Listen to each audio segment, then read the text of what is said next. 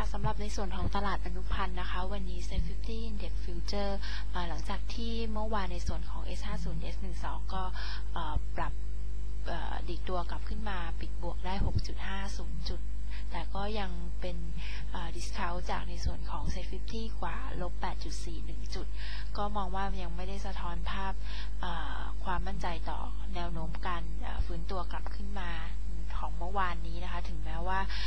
จะเห็นในส่วนของนักทุนต่างชาติเนี่ยกลับเข้ามาซื้อในอตัวหุ้นในบ้านเราแล้วก็ยังซื้อต่อเนื่องในส่วนของ s e 50 Index Future เป็นวันที่ 5 อีก 321 สัญญา โดยมีในส่วนของโวลุ่มแล้วก็สถานะคงค้างที่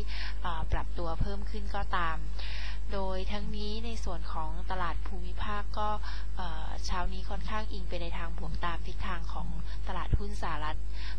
บนความคาดหวังในเรื่องของผลประกอบการของบริษัทจดทะเบียนในสหรัฐเอง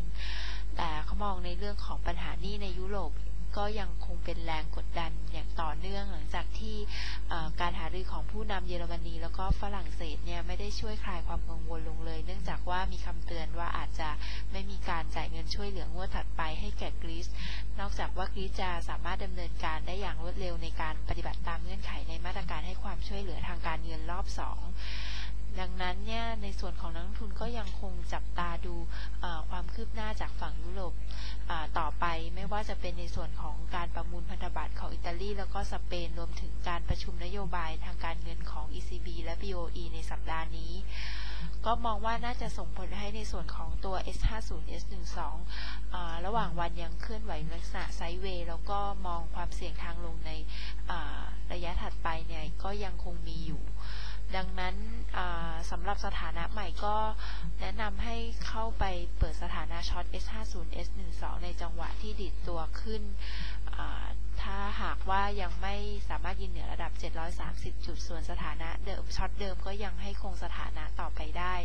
ทั้งนี้ก็ให้ตัดขาดทุนเพื่อป้องกันความเสี่ยงถ้าหากว่าปรับตัวขึ้นทะลุระดับ 730 จุดขึ้นไป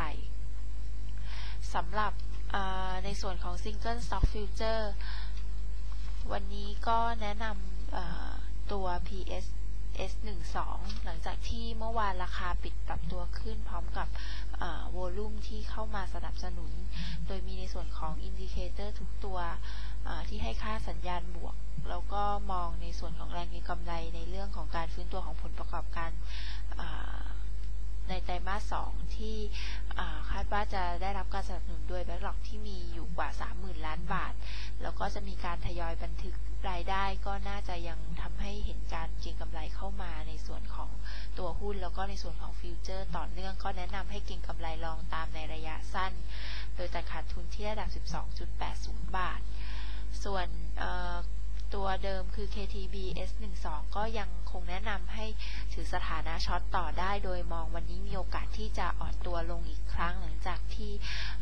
มีข่าวในเรื่องของอแบงก์ชาติอาจจะเก็บค่าธรรมเนียมตัว BG ธนาคารพาณิชย์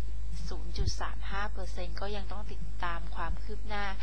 ในประเด็นดังกล่าว แล้วก็มองว่าอาจจะเข้ามาเป็นแรงกดดันต่อราคาหุ้นแล้วก็ในส่วนของ Future ได้ในวันนี้ โดยทั้งนี้ถ้ามองในส่วนของสัญญาณทางเทคนิคเองถึงแม้ว่าเมื่อวานเนี่ยราคาจะดีดตัวขึ้นเป็นวันที่ 2 แต่ก็ยังไม่ผ่านเส้นค่าเฉลี่ย EMA 5 วัน โดยในส่วนของ MACD เองก็ยังปิดต่ำกว่าเส้น zero line ต่อเนื่อง ก็ถือสถานะ Short ต่อได้โดยตัดขาดทุนที่ระดับ 15.60 บาท ส่วนตัว PTT EPS 12 ก็มองว่าในส่วนของราคาน้ำมันในตลาดโลกถึงแม้ว่าจะได้รับแรงกดดันจากความวิตกกังวลในเรื่องของปัญหานี้ในยุโรป แต่ก็ยังได้แรงหนุนส่วนหนึ่งจากความกังวลต่ออุปทานจากตะวันออกกลาง ก็มองว่าทำให้ในส่วนของตัว PT EPS 12เอ่อน่าจะพักตัวอยู่ในกรอบจำกัดต่อไป โดยทั้งนี้ก็แนะนำให้เก่งกำไรลอง เพื่อรออ ทำกำไรตามเป้าหมายที่ระดับ 175 แล้วก็ 180 บาท ในกรณีที่วันนี้ถ้าหากว่าอ่อนตัวลงแต่ว่ายังไม่หลุดระดับ 170 บาท ส่วน LSS 12 ยังคงปรับตัวขึ้นแล้วก็ปิดแท่งเทียนสีขาวยาวต่อเนื่อง แม้ว่าถ้ามองในส่วนของราคาหุ้นอาจจะเริ่มเห็นการพักตัวลง แต่ถ้ามองในส่วนของสัญญาณบวกจาก indicator ทุกตัวก็ยังคงเป็นแรงหนุน แนะนำให้รอปิดสถานะ Long ที่เป้าหมายบริเวณ 6.50 บาท และตัดขาดทุนที่ระดับ 6.15 บาทสำหรับในส่วนของ Metal Future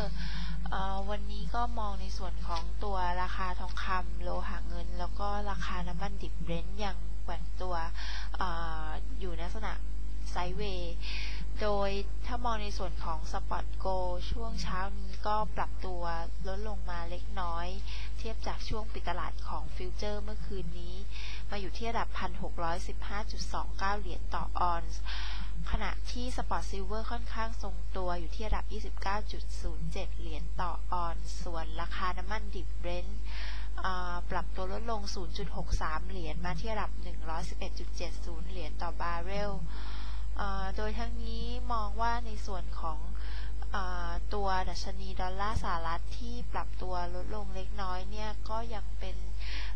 แรงหนุนต่อทิศทางของราคาสินค้าโภคภัณฑ์อยู่ส่วนหนึ่ง แต่ว่ามองในเรื่องของคาดการในเชิงลบต่ออค่าเงินยูโร แล้วก็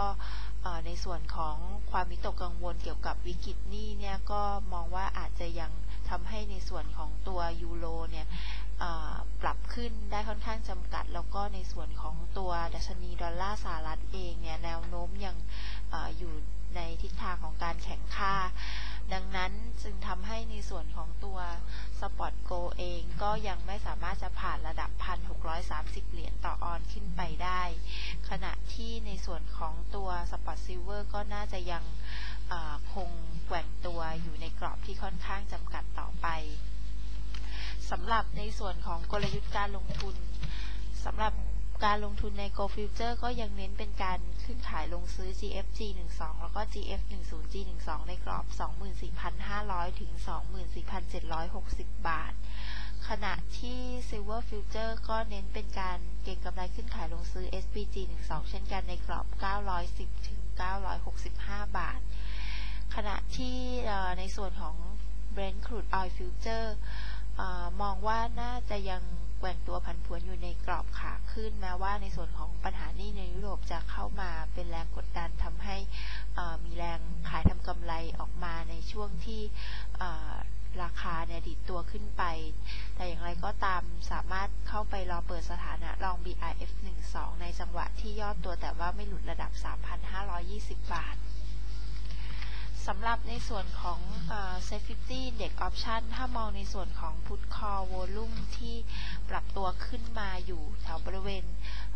1.04 เท่า แต่ว่า put call open interest เนี่ยยังค่อนข้างทรงตัวอยู่ที่ 1.11 เท่า โดยมีในส่วนของ implied volatility โดยรวมในฝั่งของ call option ที่ปรับตัวลดลง แล้วก็ต่ำกว่า put option ต่อเนื่อง ยังสะท้อนภาพรวมตลาดที่ยังน่าจะเห็นการแกว่งตัวค่อนข้างผันผวน ก็แนะนำยังให้คงสถานะ Short Call ในสัญญาเดือนมีนาที่ราคาเทส720 ถึง 730 จุด โดยยังมองว่า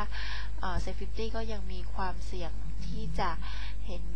การอ่อนค่าลงมาอีกรอบไปทดสอบระดับ 720 แล้วก็ 710 จุด ปิดการประชุมในส่วนของตลาดอนุพันธ์ค่ะ